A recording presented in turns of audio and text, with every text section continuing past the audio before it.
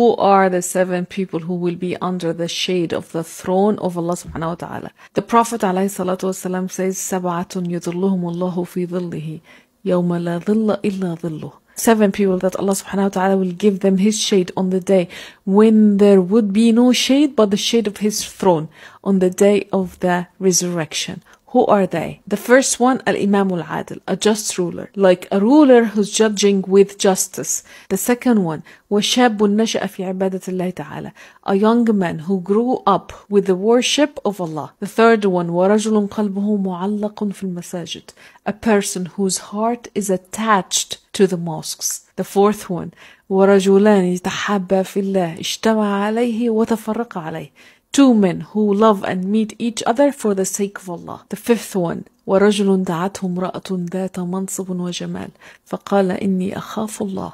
A man whom an extremely beautiful woman seduces him, but he rejects the offer and says, I fear Allah. The sixth one, ورجل تصدق بصدقة فأخفاها حتى لا تعلم شماله ما تنفق يمينه A man who gives in a charity and hides it to such an extent that his left hand does not know what his right hand has given. And the seventh one, which is the last one, ورجل ذكر الله خاليا ففاضت عيناه Like a man who remembers Allah in solitude and his eyes become tearful, like he sits alone and remembers Allah.